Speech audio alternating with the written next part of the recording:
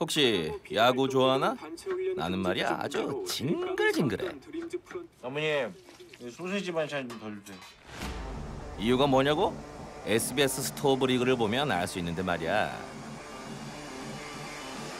6회 말 드림즈의 공격 진행되겠습니다. 이번 이닝의 선두 타자는 4번 타자 드림즈. 1982년에 창단된 한국 프로야구 최초의 원년 팀 중 하나지.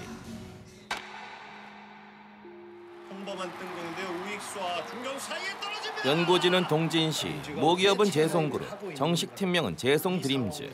현재 정규 시즌 꼴찌, 지난 4년간 연속 꼴찌. 그래서 별명은 죄송 드림즈.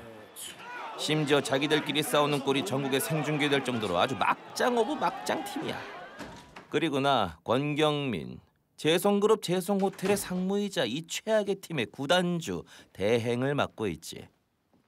이번에 호텔 경영 실적 개선했다며? 예, 아직 멀었습니다. 난 말이야. 사람을 돈 나가는 구멍 아니면 돈 나가는 구멍 막아주는 사람으로밖에 안 봐. 너 같은 똘똘한 놈 말고는 온통 돈 나가는 구멍뿐이. 야구단 적자가 얼마지? 작년 기준 70억입니다. 그러면 이 돈 나가는 구멍을 어떻게 할까? 올해 안에 해체시키겠습니다. 그룹 회장님이신 나의 큰아버지 명령인데 돈 먹는 하마로 전락한 야구단을 데리고 있을 필요 없잖아.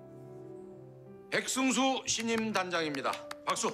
그래서 나의 계획을 실현시켜줄 꼭두각시를 세웠어. 우리 백 단장은 젊고 또 우승 킬러? 아, 청부사입니다. 우승 청부사랍니다. 우승을 하기 위해 여기에 왔다. 뭐 이런 거잖아. 그치? 예, 뭐 비슷한 겁니다. 한마디 해. 예. 어, 핸드볼 팀 씨름단 하키 팀 우승시킨 적이 있습니다. 야구단 잘 모르지만 배워가면서 하겠습니다. 야구 문외한이라니 미래가 없는 팀에 딱 맞는 인재지. 단장님 처음 뵙겠습니다. 권경민이라고 합니다. 아, 이분은 상무님이시고 또 구단주 조카예요. 뭐 그렇게 대단한 사람은 아니고 오해하지 마세요. 구단주 조카라고 뻐기려는 거 아니고요. 음, 젊은 놈이 왜 저렇게 어깨에 힘을 주고 다니는지 이상하게 생각을 하니까요. 이렇게 얘기하면 다들 한 방에 알아듣잖아요. 좀 파악되죠? 그냥 한 가지만 알아둬. 구단주 조카라는 건 잊어요. 그냥 구단주라고 생각을 하세요. 내가 바로 드림즈의 운명을 손에 쥔 실질적인 구단주라는 걸 말이야. 근데 여긴 듣는 귀가 너무 많아. 따로 백 단장에게 그룹의 뜻을 전해둬야겠지. 그래야 계획이 더 빨리 이루어질 테니까. 내가 단장님 몇 뽑을게요. 말했잖아요. 단장님 이력이 너무 특이해서 뽑았다고. 우승, 해체. 우승, 해체. 우승, 그리고 또 해체. 여기서 방점은 우승이 아니라 해체에 찍혀 있어. 단장님 이력대로만 해주세요. 많이 안 바랍니다. 알았지? 오케이? 예, 알겠습니다. 나에게 그리고 재송 드림즈에 꼭 필요한 마이너스의 손. 당신만 있다면 야구단 해체는 문제 없겠지. 나 대신 드림즈의 악역이 되어달라 이 말이야. 그 뒤로 팀 해체만 기다리고 있었는데 이 백단장이 쓸데없는 일을 벌였더라고. 어, 어제 결정된 사항들에 대해서 말씀드리도록 하겠습니다. 임동규 선수를 트레이드하겠습니다. 임동규라고요? 우리 팀 4번 타자 임동규? 이동규가 아니라? 예, 저는 임동규 선수 트레이드 하겠습니다. 아니 임동규가 우리 팀에 어떤 선수인데 임동규를 트레이드한다고? 다들 왜 이런 반응인지 궁금하지 않아? 미친놈이네. 총 11시즌 동안 270개의 홈런을 때려내고 골든글러브 6회를 수상한 강타자. 그래서 아무도 함부로 다룰 수 없는 안하 무인. 구단에서 온갖 트러블을 일으키는 문제하지만 동시에 가장 인기 많은 프랜차이즈 스타. 그런 임동규를 방출하겠다? 난 속으로 쾌재를 불렀지. 맞트레이드 상대를 듣기 전까진 말이야. 운영 팀장님, 강두기 선수 유니폼 준비해 주십시오. 깍두기 아니고 강두기? 강두기요? 강두기 선수가 우리 팀이에요? 아니 그냥 그렇게 됐습니다. 2년 전 임동규와의 마찰로 팀을 나간 국가대표 에이스 투수 강두기. 드림즈 연고지에서 태어나 신인 시절 1차 지명으로 입단해 10년 동안 드림즈의 기둥이 돼줬던 선수. 실력부터 인성, 팬덤까지 모든 것이 완벽한 슈퍼스타. 드림즈 내가 왔다!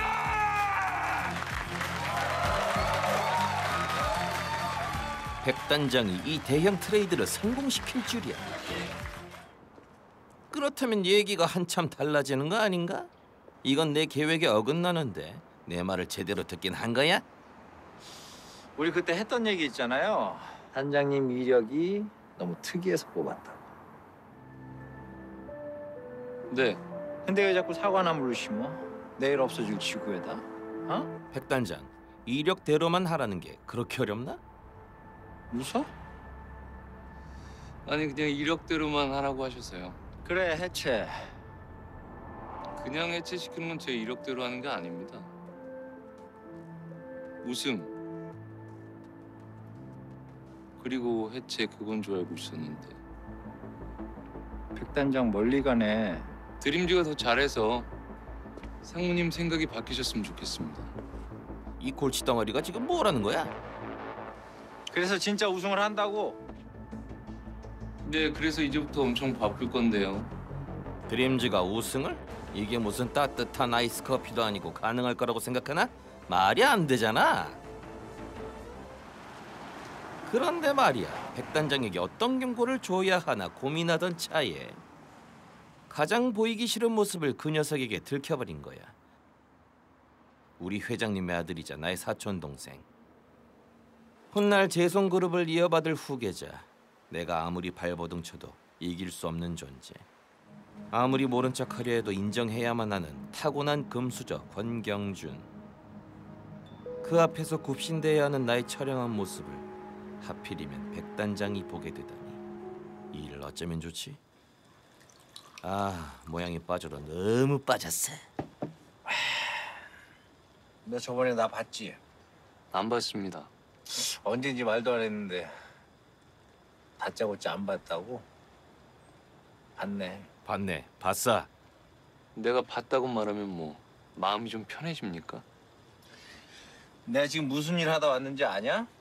모르죠. 제주도에 건설하는 호텔. 3천억 규모의 호텔 건설. 그 시공사 정하다 왔는데 웃긴 게 회의 끝나고 TV를 켜니까 네가 나오더라. 1년 예산 고작 200억 쓰는 니들이 뭘 그렇게 아둥바둥 싸우면서 일을 해. 야구 좀 아시려나? 백단장 선 넘네. 구단주 대행이 몇 년째인데 야구를 몰라. 작년까지 핸드볼 단장하던 놈이 어디서 씨. 어떤 사람은 삼루에서 태어나 놓고 자기가 삼루타를 친 줄 압니다.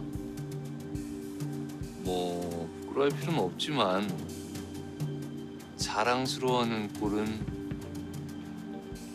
보기 좀 민망하죠. 저 먼저 일어나 보겠습니다. 택시 타고 들어가십시오. 감히 나한테 훈계를 해? 찌질해 보여도 어쩔 수 없지. 팀 해체보다 지금은 눈의 가시 같은 너부터 쫓아내야겠어. 어? 당황했어요? 백 단장이? 내가 좀 어려운 얘기를 했나 봐요? 예, 어렵습니다. 뭐 하자는 거야? 선수단 연봉 총액이 30%가 삭감됐으니 어떻게든 그 돈으로 선수단 전원과 연봉 계약을 마치라는 말씀이시잖아요. 못하겠으면 사퇴해. 합리적인 이유도 없이 어떻게 이런 식으로 찍어 누릅니까? 그 답을 알려주지. 이유 얘기할까요? 우리는 야구를 못해요. 그리고 또 우리는 야구를 더럽게 못해요. 그리고 또 우리는 몇 년째 야구를 더럽게 못해요. 그리고 또 우리는 야구팀에서 적자가 나고 있어요. 네. 작년 재작년에도 제일 못했고 그래서 제일 적은 연봉 받고 있습니다. 갑자기 이만큼 줄이면 반발이 없겠습니까? 똑똑한 분이 왜 대물을 실까 싶어서 얘기하는데요. 제가 지금 얘기하고 있는 건 의견이나 조언이 아니고 꼭 그렇게 해야겠다는 구단주 우리 그룹의 의지입니다. 그리고 그게 바로 약육강식이라는 거다. 백단장. 프로야구가 경제적 효과 2조 원 시대를 연 지금 그룹에 1원 한푼 도움되지 않는 만년 꼴찌팀 드림즈를 어떻게 그냥 둘 수 있겠어? 구단주 조카 아니 조카 나 권경민이 백단장이라는 방해꾼을 물리치고 드림즈를 해체시킬 수 있을지 궁금하지 않아? SBS 스토브리그 지금 BTV에서 확인해 보라고.